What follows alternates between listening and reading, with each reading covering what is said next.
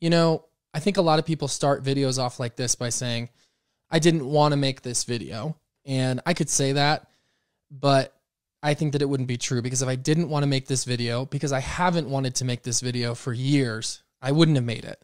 And I don't think I'm sitting here today making this video because I want to, that I'm excited about it, because I'm not.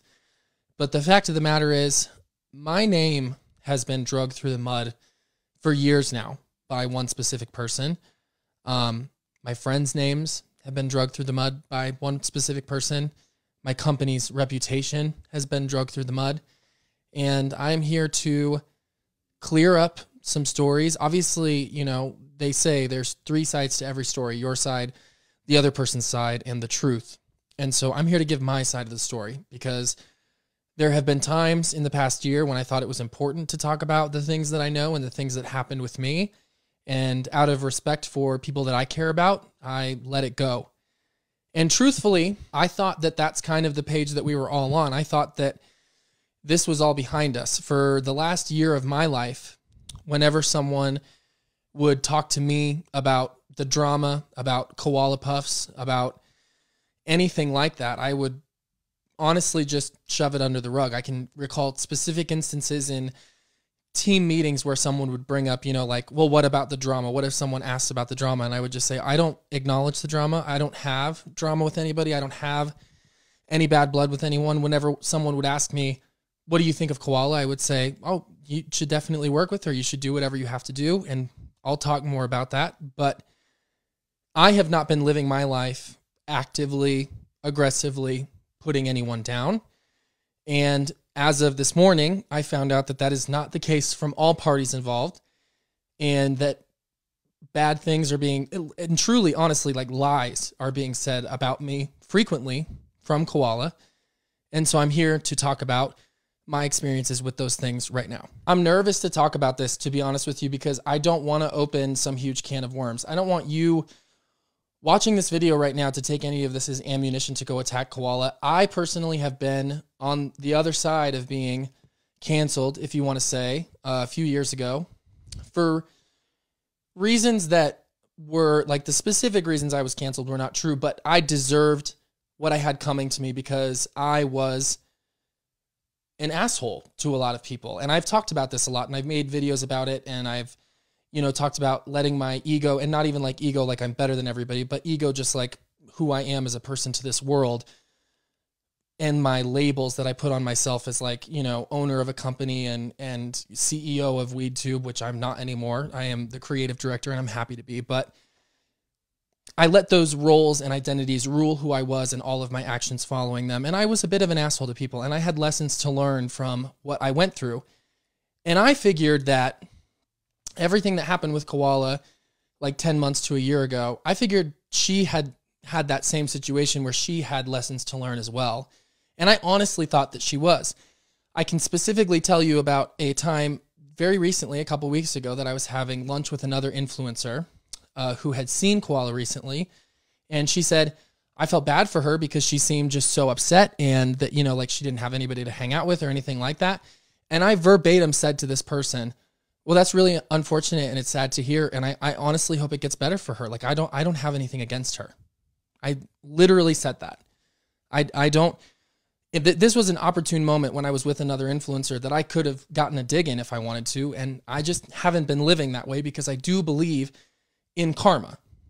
And I believe that if you say something bad about anybody and what you focus on expands, that that sort of negative energy is going to come back at you.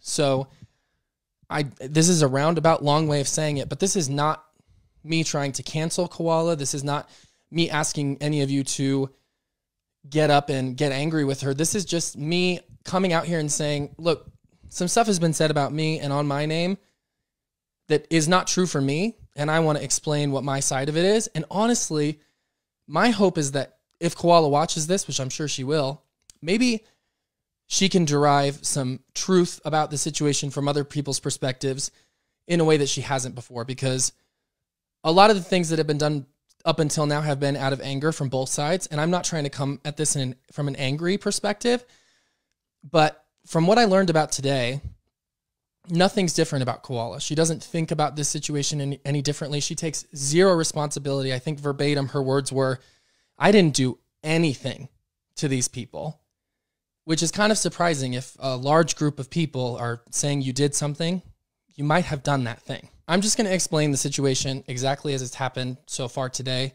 And there will be a little bit of backtracking into a few other things. And yeah, I recently had the honor of having a delicious birthday dinner cooked for me by an incredible chef who does cannabis infusion stuff. And I'm going to ask you guys to not look too far into this because this person does not want to be affiliated with the drama, which I don't blame them for whatsoever. Yesterday, I got a message from this chef in the morning, and the message said, Hey, I'm doing this event with Koala Puffs in November, and I wanted to invite you and also ask you if you had any recommendations for venues where we could host the dinner.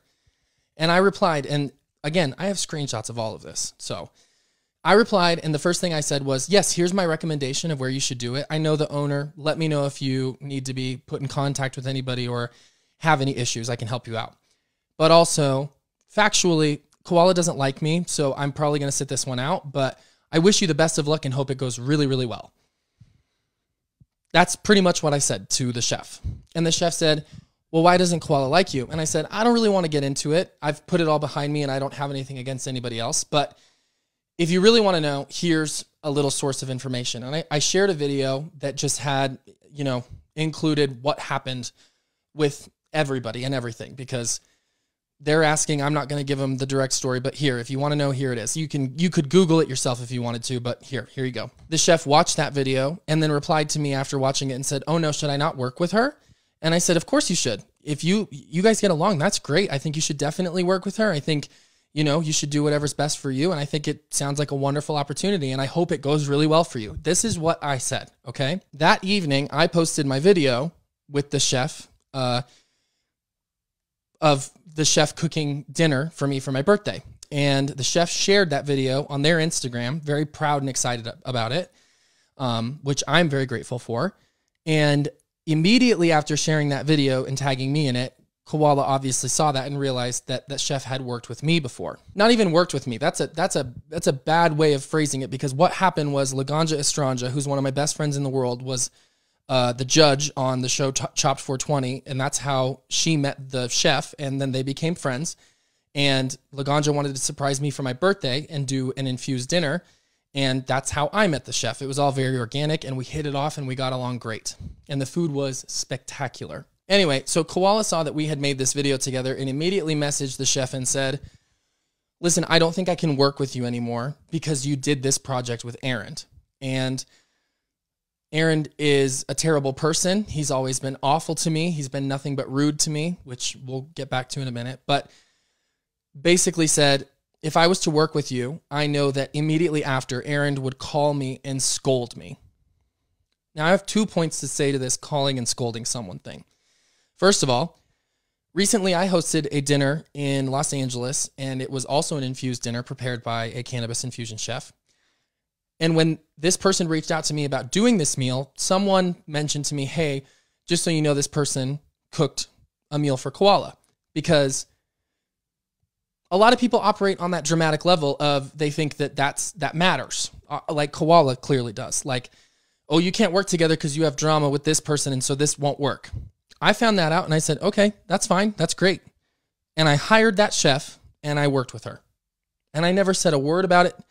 I never said a word about koala to that chef. I'm sure, I mean, I haven't talked to that chef about any of this, but I'm sure if we were to ask them, they would say, I didn't say a word about koala to them. I didn't use that opportunity to talk about koala. I didn't say anything. I literally just took the call, frantically tried to put things together because it was last minute and I was completely chaotically trying to find a venue. If anything, I was problematic during that whole thing. Not problematic, but like just trying to like make it work last minute. And that chef was incredibly accommodating and wonderful. We never had any issues. I never mentioned koala, never said anything. So that's thing number one. That's the difference between koala and I. I find out someone worked with koala. I don't care. That's fine. Good for them. Koala finds out someone worked with me. I can't work with you. That's what koala says. Second point to the Arend will call me and scold me thing this is in reference to, and she talked about this in her Instagram live 10 months ago, where she said, Arend didn't say that he called me and yelled at me.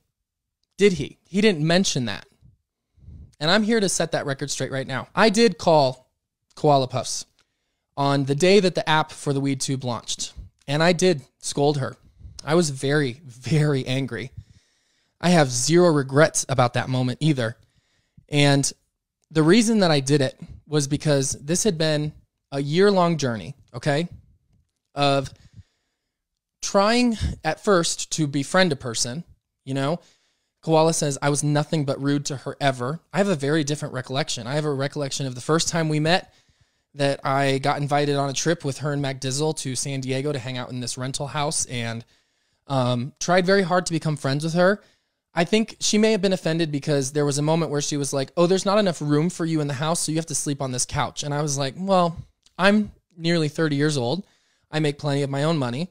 I'm not going to sleep on a couch, but I'll go stay at a hotel right down the street and I'll come hang out all day. And I, I didn't bitch about it or complain about it. I didn't mean for it to be rude.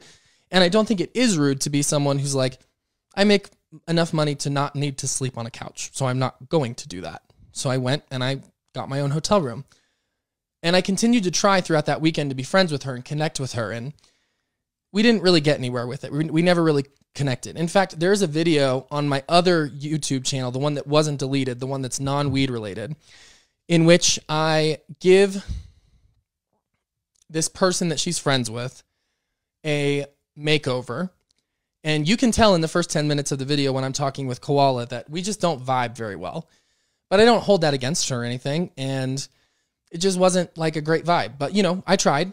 And I also remember very specifically the third time we hung out, which is I'm still trying to break down this wall, be friends with her. You know, like one of my best friends and business partner, Mac Dizzle, is living with her. They're they're best friends. They're making all this content together.